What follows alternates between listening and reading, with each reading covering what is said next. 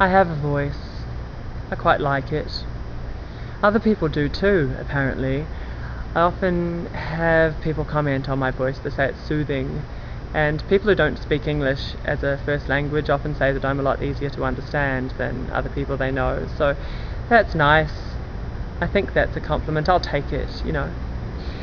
I just hope that my neighbours like my voice because when I'm at home I have a tendency to sing quite loudly and I live in a, an apartment block at the moment with like 60 flats in it and I think they can probably all hear me hope they don't mind.